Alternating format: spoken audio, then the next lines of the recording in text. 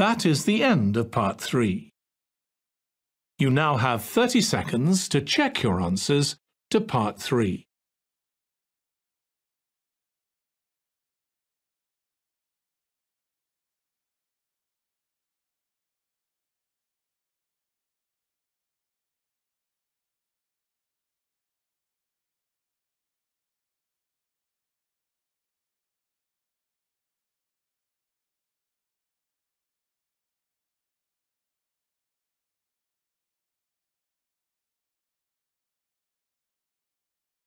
Part 4 You'll hear part of a lecture given by an anthropology professor. First, you have some time to look at questions 31 to 40.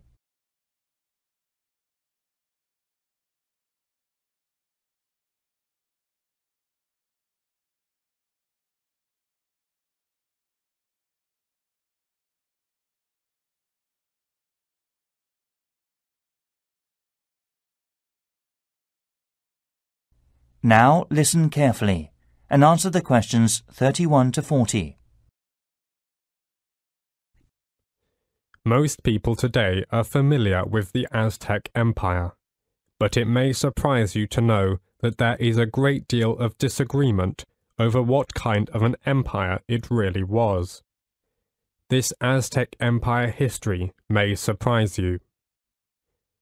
Now let's take a look at an Aztec timeline to get an overview of what happened during the times of this civilization. Collectively, the people of the Allied Central Mexican and American city-states between the 14th century and the 16th century Spanish invasion are commonly referred to as the Aztecs. The Aztec Empire was controlled primarily by a political body called the Triple Alliance.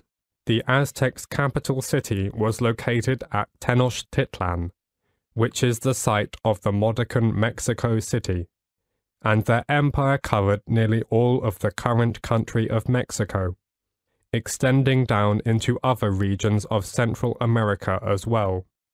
Then, progressing to the subject of food. Aztec food was a rich combination of many foods that we take for granted today. Not only is much of this rich diet still common in Mexico today, it spread around the world. Let's look at some of what the ancient Mexica peoples ate. Maize was the staple grain of the Aztec Empire. Maize has been domesticated for thousands of years and it likely first came into common use in Mexico, spreading to the rest of the world from there. Mexico is still one of the world's top maize growing countries. Aztec food also included beans and squash. Of course, maize and beans are still a cornerstone of the Mexican diet a healthy combination, especially if you're not eating a lot of meat.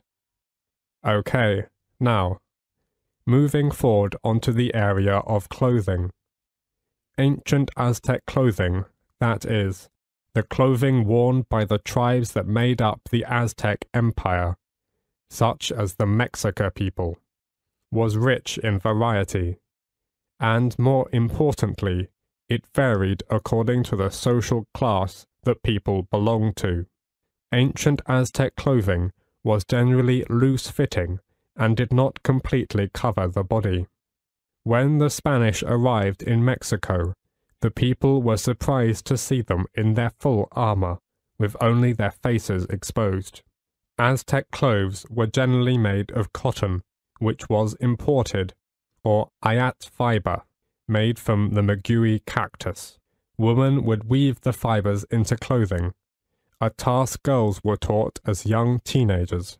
Because of their vast trading network, the Aztecs were able to make use of a beautiful array of dyes, creating the brilliant colors still seen in Mexico today. Next, let's look at the education situation of the Aztec. The Mexica people of the Aztec Empire had compulsory education for everyone, regardless of gender or class. In the end, people in the Aztec society were generally well educated, though boys received a wider education than girls. Girls were taught how to run a home, cook, and care for a family, but they were also taught things like crafts and ways to economically run the home. In this way, women had a lot of power in society, though it was behind the scenes. Boys learned other trades and were also taught fighting skills and leadership skills. Finally, then, let's look at Aztec temples.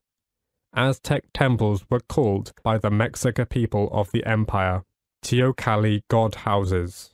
The priests of the Aztec religion went to these temples to worship and pray, and make offerings to the gods to keep them strong and in balance.